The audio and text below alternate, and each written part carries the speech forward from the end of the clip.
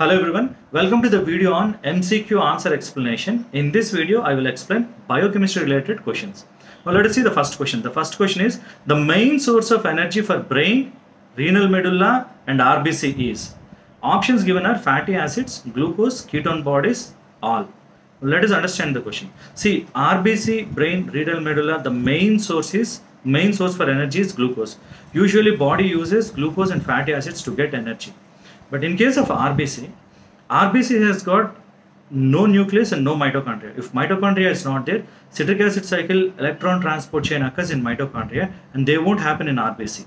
So in the cytoplasm, only glycolysis is occur and glycolysis uses glucose to generate ATP source. So RBC, the sole source is glucose. Coming to the brain, again brain uses glucose regularly to get energy, not free fatty acids.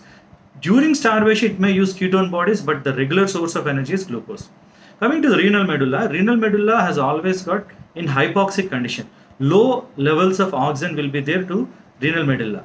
So glycolysis occurs even without oxygen. Hence, the sole source of energy is glucose because glycolysis uses glucose. So the option is uh, B, glucose. Coming to the next question. The net ATP gained from glycolysis is options are 8 ATP, 6 ATP, 4 ATP, 2 ATP. Now understand this, do not get confused. See, glycolysis is an anaerobic energy yielding pathway. It does not require oxygen. It starts with glucose, ends with pyruvate. Glucose breaks down to pyruvate, hence it is called as glycolysis, glycolysis. Now overall it produces 4 ATP, but at the beginning it uses 2 ATP. Glucose to glucose 6-phosphate 1 ATP, fructose 6-phosphate to fructose 1,6-bisphosphate 2 ATP. But finally it is producing 4 ATP. Because it is using 2 of the ATPs, the net gain, the question asks about net ATP gain is 2 ATP. Okay, now let us see the next question.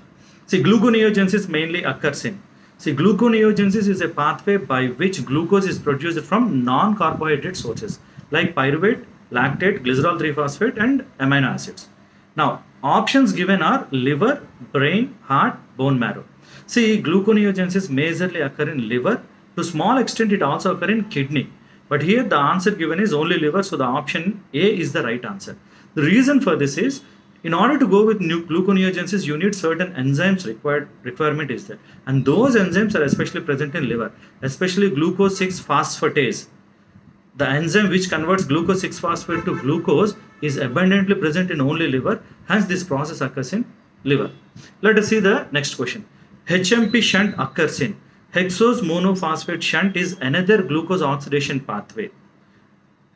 It, it is called as a shunt pathway because glucose is converted again fructose 6-phosphate again it gets back to glucose also. Now it is also known as pentose phosphate pathway because in this pathway, pentose phosphates like ribose 5-phosphate is produced which are used for DNA synthesis. Now this pathway occurs in cytoplasm.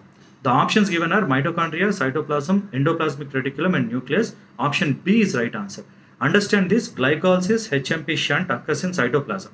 Gluconeogenesis occurs in cytoplasm as well as mitochondria because one of the enzyme required is present in mitochondria. Whereas citric acid cycle electron transport chain, all these occurs in mitochondria. Now let us see the last, uh, last question. Uronic acid, the main function of uronic acid pathway is, now see understand this, uronic acid pathway produces glucuronate, production of glucuronate.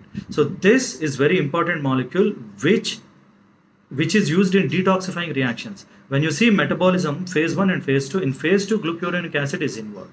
So this glucuronic acid is produced in uronic acid pathway. So the answer is producing glucuronic acid uh, uh, is the major uh, function of uronic acid pathway. Thank you for watching this video.